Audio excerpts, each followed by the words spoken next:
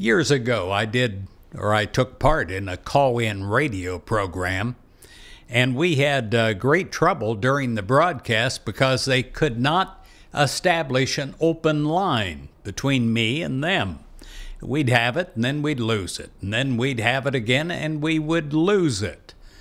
Well, one thing that you'll never lose is an open line of communication between you and God. Prayer is an open line to God.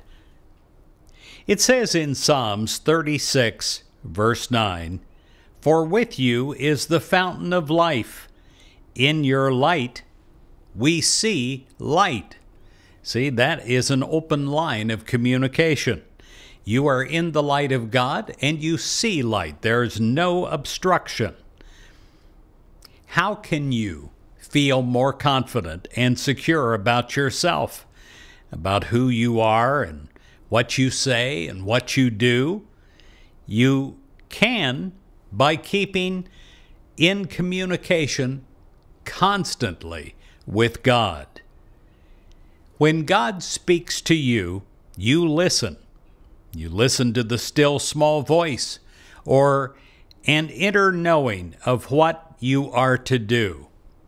And with every fiber of your being, you become open and you become attentive to the wisdom of God as the one true source of your good. God listens to you. Because God is your best friend, you feel comfortable confiding your deepest feelings in your times of communication. You know that you will never be judged because of what you share. And you will always be influenced in a positive way. God will tell you how loved you are, and you'll have a new assurance of, of what you are and what you are to do. You keep an open line of communication with God through prayer. God assures you that all is well in your life and in the lives of those that are dearest to you.